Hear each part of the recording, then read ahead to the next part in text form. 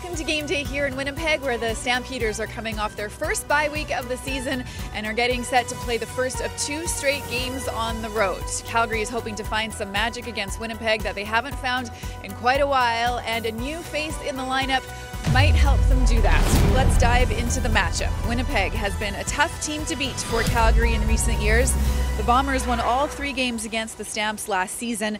Winnipeg is tied at the top of the West Division with a record of 3 and 1. Their one loss came against the BC Lions. Calgary is coming off a close game with the Riders. Their second half comeback fell just short, and they lost by a field goal in overtime to their Western rivals. The team is eager to put that one behind them and get back in the win column. I would also argue that's that's kind of every week too, right? Like you never want to fall behind. So, um, yeah, I mean they're uh, you know they play in an environment that can create a lot of momentum for them, um, and you know once they get rolling, uh, you know that that continues to grow and grow, and, and you can feel the confidence on the other side when things are going well for them. So, yeah, I mean we want to come out better, uh, myself included. I just I got to play better in the first half and um, start the game off better. So that's been an emphasis for sure. Moving on to the starting quarterbacks, Jake Maier scored a rushing touchdown against Saskatchewan and hooked up with Malik Henry for a 52-yard score. The pivot and his receiving corps got better as the game wore on, and they're hoping to keep that rolling tonight. For the home team, Zach Collaros is in his fifth season now with the Bombers. He threw for two touchdowns against the Alouettes and has thrown for seven TDs in four games this season. The quarterback is surely aware that he will have to keep his eye out for Cam Judge tonight. The Calgary linebacker already has two picks for the Stampeders this season. In 20 regular season games with Calgary, the linebacker has racked up four interceptions in total.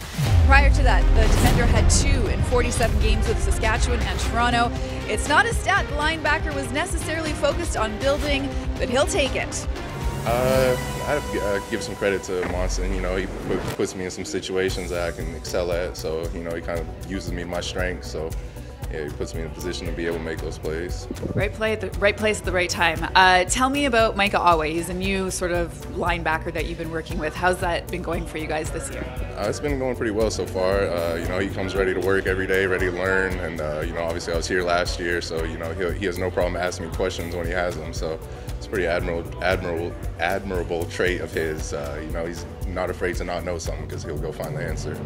Against Winnipeg, I mean, Calgary's had a tough time beating them lately. What would it mean to you guys, especially considering some of the adversity, adversity and the injuries that you've gone through? What would it mean to get a win on Friday night? Uh, definitely big, you know, for our confidence and everything. I mean, obviously we believe in ourselves still, but you know, it'd be nice to see it uh, turn into something like a win. So, you know, it'd, it'd be a big win for us. Tell me about the outfit. Oh, you know, it's a uh, Stampedes here, you know, so we had to bring it out here to Winnipeg a little bit since we're out of town. So we need a full length. It looks great. Love the shirt. Following the news that Malik Henry ruptured his Achilles against Saskatchewan, the Stamps went out and got some reinforcements. Marken Michel signed with the team earlier this week and will be in the lineup. The speedy receiver won a Grey Cup with Calgary in 2018. He spent the last four years in the NFL.